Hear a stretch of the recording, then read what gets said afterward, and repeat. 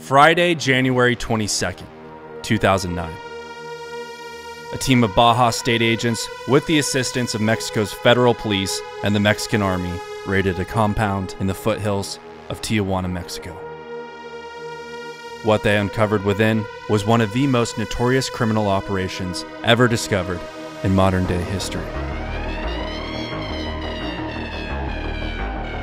The crime scene was what can only be described as a cartel death factory, where the bodies of rival cartel members were submerged into acid filled barrels by the hands of Sinaloa cartel specialist Santiago Meza Lopez, who over a period of 10 years dissolved more than 650 victims.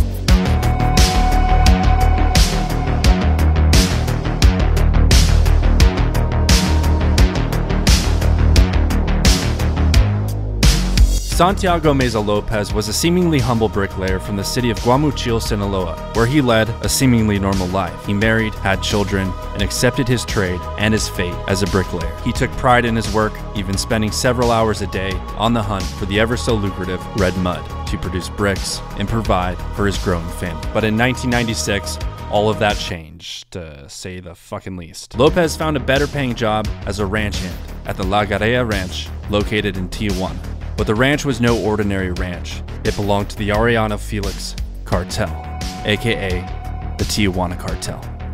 Once described as one of the biggest and most violent criminal organizations in Mexico, and Lopez began his work for them as a stable boy, looking after the stables and various farm animals like uh, not cartel monkeys, just uh, the regular like horses and shit like that. It's reported that Lopez was eventually selected as a lookout, a common position of where all cartel prospects must first pay their dues before earning a shot and moving up to the chain of command. The scouts, or lookouts as they are called, are the eyes and ears for cartel operations, providing surveillance and alerting the operations teams on the ground of any and all incoming heat. And after supposedly serving his time as a lookout, Lopez was approached by Efrain Perez and Jorge Felix, two higher ups of the organization, who invited him to witness an experiment being presented to them by two men from Israel. They poured liters of water and other substances such as caustic soda into a drum. They instructed Lopez to insert a pig leg and to stir the concoction periodically. And two hours later, the men discovered that the pig leg had completely disintegrated into the drum. The experiment was a success, and word was quickly passed along through the chain of command. And six months later, Perez and Felix approached Lopez again, informing him they were doing another experiment.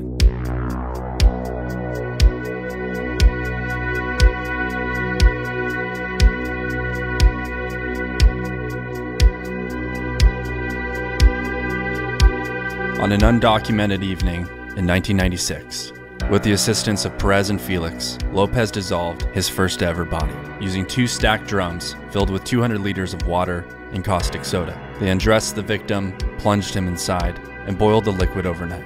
And by morning, they found the body to be nearly disintegrated.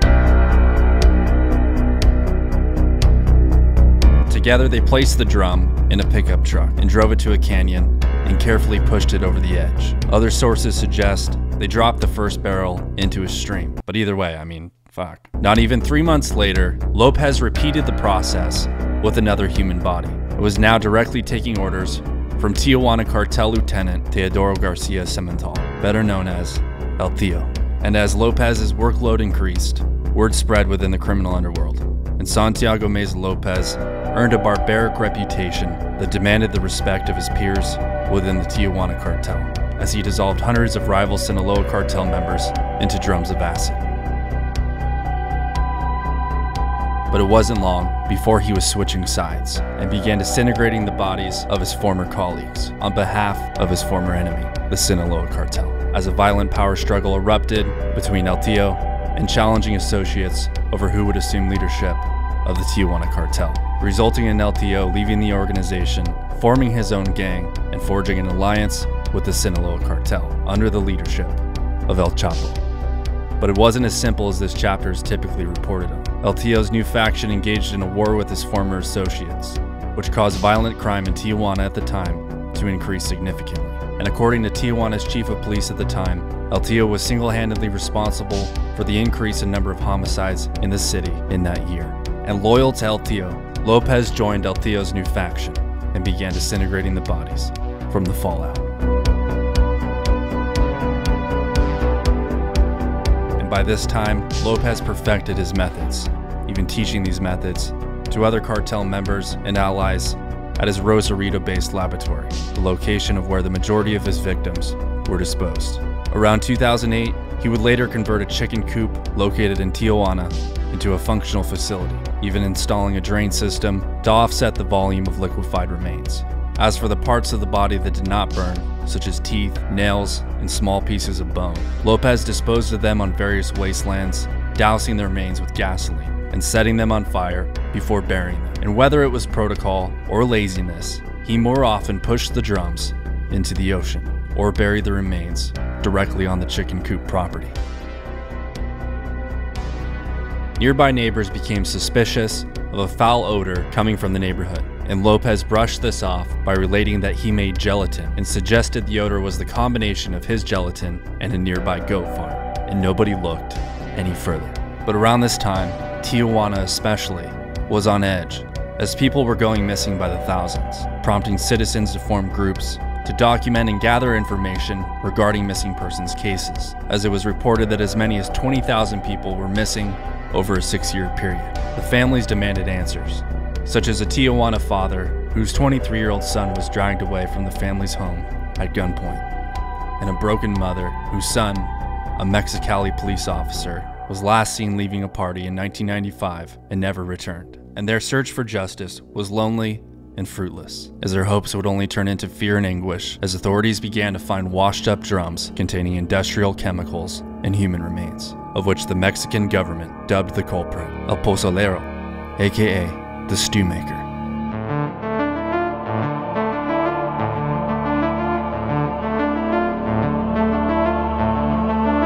Wearing his protective equipment, such as masks, gloves, and an apron, he would receive the bodies whose faces were often covered in duct tape.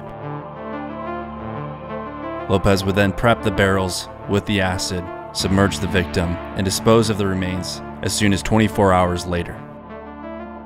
And he was often working on up to 12 victims at a time. His helpers, otherwise known as chalanes, were a small group of 15 to 16 year olds trying to prove themselves to the organization. And this group of chalanes picked up some heat during an unrelated event, and the pressure was put on them, and they started to talk about the chicken coop.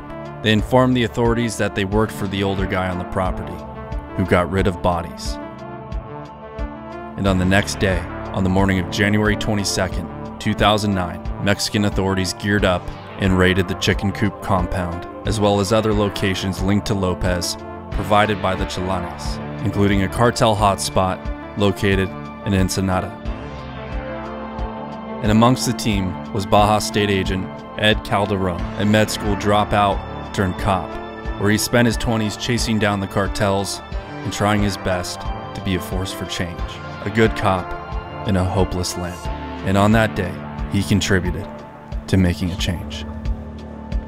En Tijuana, Baja California, fue encontrado un predio en donde Santiago Mesa López, alias el Pozolero, dejaba los restos de las víctimas que deshacían nacido.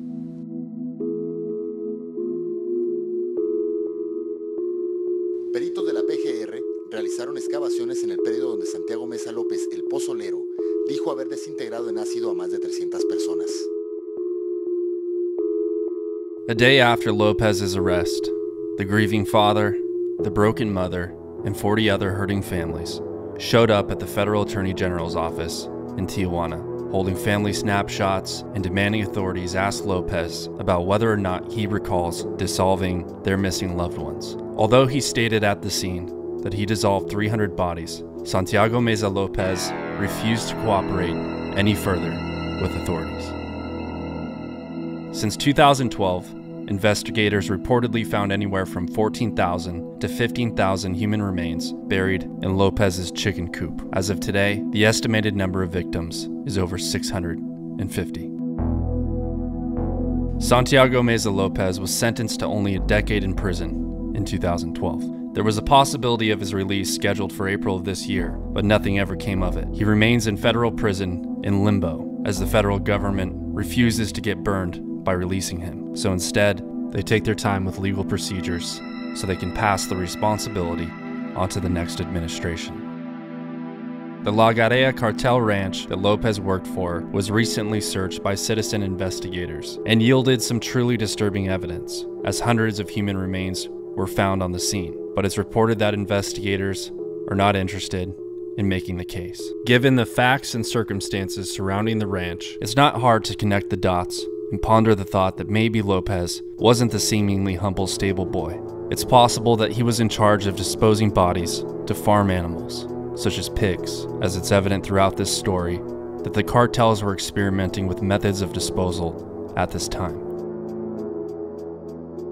Ed Calderon is recognized as one of the world's most prominent cartel experts, as well as one of the most sought after personal security trainers, even sharing his expertise with members of federal law enforcement agencies and special operations, including the FBI, Navy SEALs, and the Indonesian Kopaska, just to name a few. He currently travels the US doing security consulting and has even been a guest on the Joe Rogan Experience and Sean Ryan's Vigilance Elite podcast.